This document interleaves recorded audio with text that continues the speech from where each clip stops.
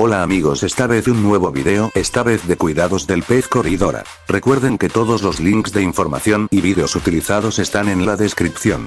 Clasificación científica Nombre científico Corridoras reino. Animaliáfilo. Chordata clase. Actinopterigi orden. Siluriformes familia. Callichtidae habitat. Ríos, lagos. Corridoras especie de pez de las más corrientes en los acuarios domésticos, debido a su fácil mantenimiento ya que es una oferta habitual de los comercios. Origen. Tienen una amplia distribución, desde el este de los Andes hasta las costas del Océano Atlántico, y de Trinidad hasta el Río de la Plata. Ocupan una amplia red de hábitats, desde ríos y lagos a pantanos y estuarios. Sin embargo, no están presentes en Panamá. Etimología. Corridoras viene del griego cori que significa casco y doras cuyo significado es piel, por lo que este género de peces no tiene escamas, está compuesto por unas 150 especies.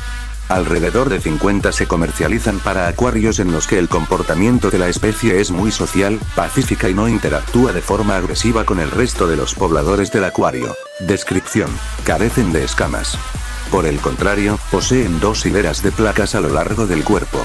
Son propios de estas especies los seis barbillones que poseen en su cabeza. Sobreviven en aguas cuyo contenido de oxígeno es insuficiente para otras especies, pueden respirar aire además de arrastrarse por la tierra con extrema facilidad.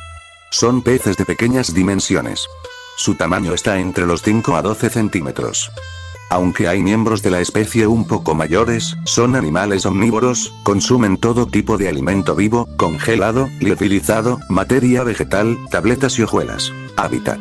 Viven en aguas limpias y dulces, de corrientes lentas y preferentemente las características del fondo deben ser arenosas, donde se facilita su labor en busca de alimento.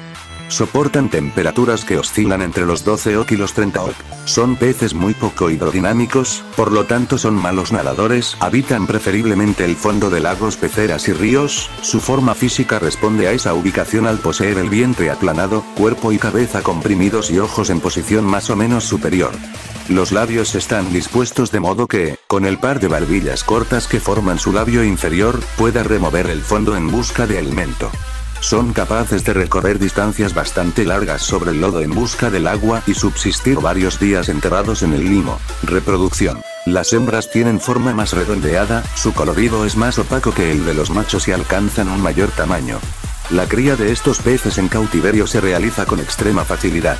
Son peces ovíparos y la puesta de los huevos la desarrollan varias veces al año. Los huevos son muy adhesivos y la hembra los disemina por cualquier parte del acuario, no cuidan de los huevos que pueden llegar hasta 200 unidades. A los 5 o 6 días eclosionan y las larvas caen al sustrato. Durante esta etapa el pH óptimo se recomienda esté cerca de 6,5 y la temperatura de 26 OK. Espero y el vídeo haya sido de tu agrado, si es así me puedes apoyar con un like y suscribiéndote al canal se despide Aquarius Go hasta la próxima.